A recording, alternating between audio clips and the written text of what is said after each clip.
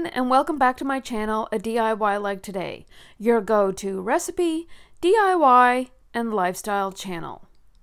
Today we're going to be doing some dollar store DIY greenhouse hacks.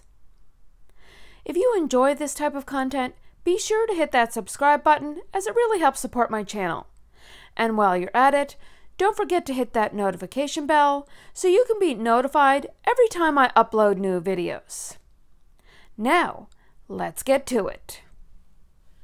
Hello everyone, welcome back to my channel. Today we're going to be showing you a DIY dollar store greenhouse gardening hack that you're absolutely going to love me for it. For most of the world, we're getting into gardening season and you're going to getting your trays and your plants and starting your seedlings. So today we're going to be off to our local dollar store and show you a really great gardening greenhouse hack. Come on with me.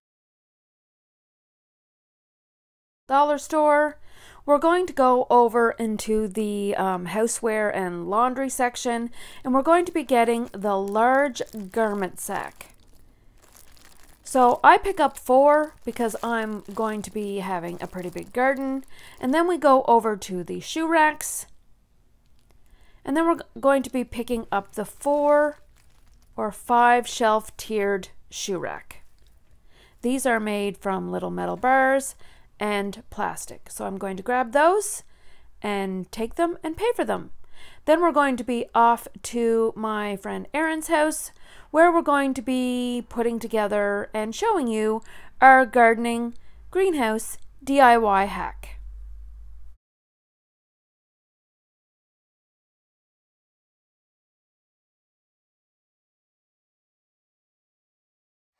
Okay, everyone, we have arrived out at my friend Erin's where we're going to put together our gardens and um, our DIY dollar store um, greenhouses and show you what's involved in putting everything together.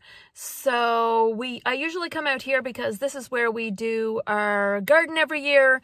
They have a bigger property and a lovely backyard. And as you can see her in the background, chasing after one of her beautiful palms. So I don't know if she's overly happy right now, but let's get to it. And I'll, uh, I'm excited to show you our dollar store DIY greenhouse method. So as I take everything into the house, we go out onto the back deck where here is your garment bag and your tiered shoe racks. I'm going to be taking everything out of the packaging and putting everything together. It was an absolutely stunning, gorgeous day here today. So it was perfect to be putting together our little mini DIY dollar store greenhouse hacks. So it's pretty straightforward on how to put together the shoe rack. You're just going to take all of these little metal bars and put them into the pre-drilled holes that are already in the frame of the shoe rack. So I put them in the one side and then I turn the shoe rack upright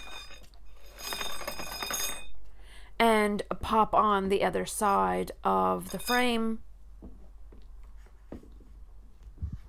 So once this is all together, I'll show you the final shoe rack all put together. This is such a perfect DIY gardening hack. Really affordable. The shoe racks cost $4 and the garment bags cost $2.50. The little seed trays that you're going to see here are going to be 5 for $2. And there you have it your shoe rack part of your DIY greenhouse hack. So here are the little seed trays. Like I said, they're five for $2. And then the cardboard seed starter plant kits, they are 24 for $1.50. So really affordable to do your little DIY garden at home. 15 of these little pods fit in each seed tray, and one seed tray fits perfectly on each shelf of the shoe rack. Then we're going to be taking the garment bag and popping it over the shoe rack. And it was like th these were made for each other, a match made in heaven. This garment bag fits perfectly over the shoe rack and the little seed trays. And it will even zip closed, so it will act perfectly as your little greenhouse to start your seedlings for this year's summer garden. And as it does a little pirouette so that you can see it all together.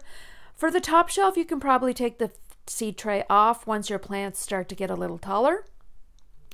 And there you have it, your DIY dollar store greenhouse hack. Thank you so much for joining me for another day like today. Don't forget to hit that subscribe button. Bye bye.